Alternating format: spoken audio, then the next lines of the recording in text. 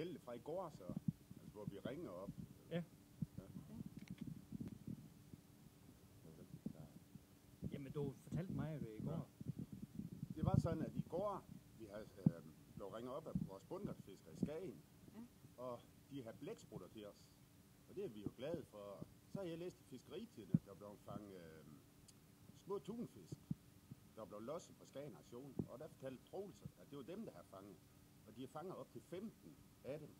Og de har prøvet på at ville tage dem fra til også leve. Så sagde vi til dem, jamen, er I så heldige at fange nogen igen? Så fire bundgarne ned igen og ring efter os, så vi vil komme. Og så ville skæbnen her til morgen. Der blev ringet klokken halv syv til os. De havde en stien tunfisk, der gik deroppe i. Og det var uh, hej vilde dyr. Fire mand afsted.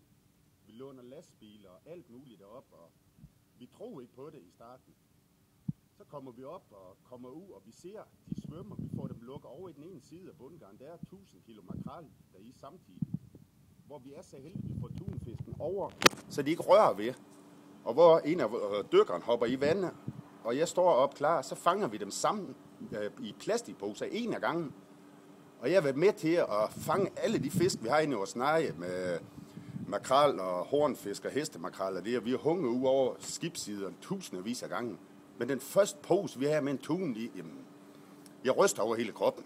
Det var simpelthen, min drøm har altid været at fange en tun.